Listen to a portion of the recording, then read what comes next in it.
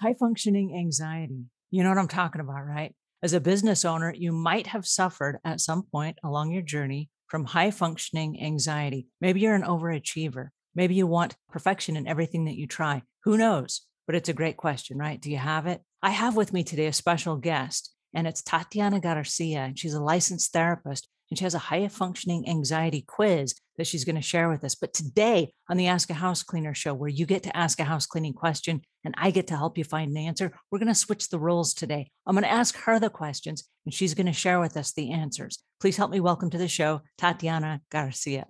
Yeah. So, high functioning anxiety is when you are high achieving, ambitious, and hardworking on the outside. And that's what it appears like to others. However, on the inside, you're struggling with anxiety, overthinking things, self doubt, putting a lot of pressure on yourself, people pleasing, and having difficulty saying no. And all of these things are going on within. But because oftentimes, as somebody who is high achieving and hardworking, it might be hard for you to share this with others um, because you fear are they going to judge me or are they going to think I'm not competent? And so it's this kind of constant battle between what you're presenting to others on the outside and how you're actually feeling on the inside.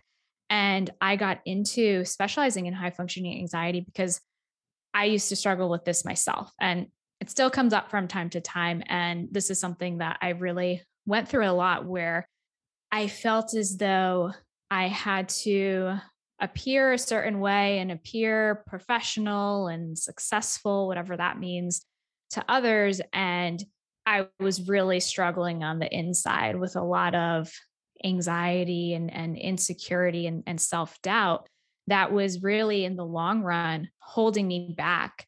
Um, and that can be the double edged sword of high functioning anxiety, where a lot of times with anxiety in general, there's this avoidance. So if you think of it a simple example if you're afraid of heights then you're going to avoid going somewhere you know on the top of a building or whatever whereas with high functioning anxiety instead of avoiding things we're often propelled forward into taking action into overworking and so throwing yourself into doing a lot of work or saying yes to everything because you have a fear of missing out and that fear is still under the surface but it's coming out in in different ways.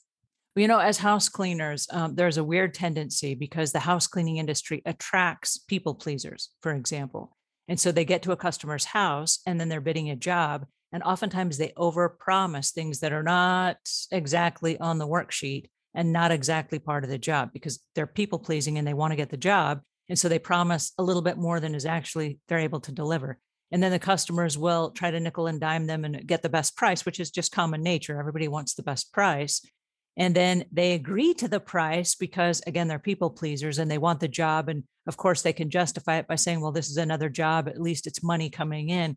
But by the time they get home or by the time they get to the the customer's house the second or third time they're regretting the decisions. And it it embodies all that high anxiety that like why did i do this to myself why did I say yes? Why did I overpromise? And all these things. How do you know if you're suffering from um, high functioning anxiety?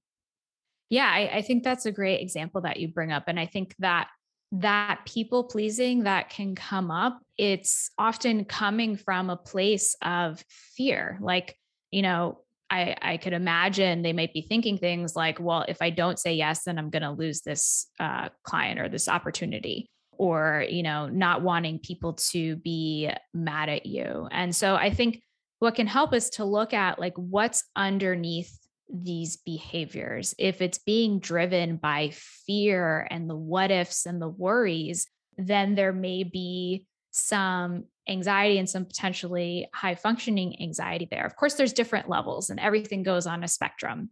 So you know there may be people who are on the lower end where you know, I think most people struggle with people pleasing from time to time and it, it might come up.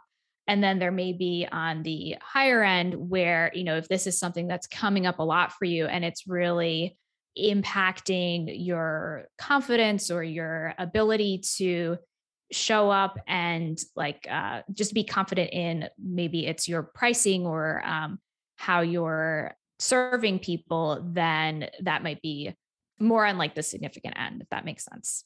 So let's suppose that you are a business owner and you you are feeling signs of stress. Is that the same as the anxiety that you're talking about or are there different symptoms and how do you recognize them?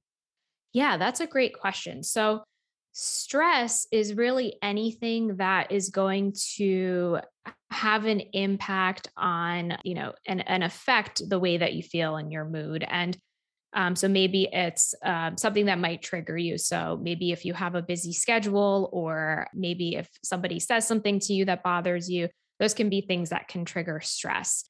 Stress can also trigger anxiety, and prolonged stress can result in anxiety. So the difference between stress and anxiety is that stress is really um, something that is uh, externally triggered um, and can be short term or long term, but it can turn into anxiety when um, it's something that you're struggling with um, on a regular basis. And anxiety is more of that worry and that thinking of the worst case scenario and that feeling like you're in survival mode. And if you drop the ball, for example, something bad's going to happen.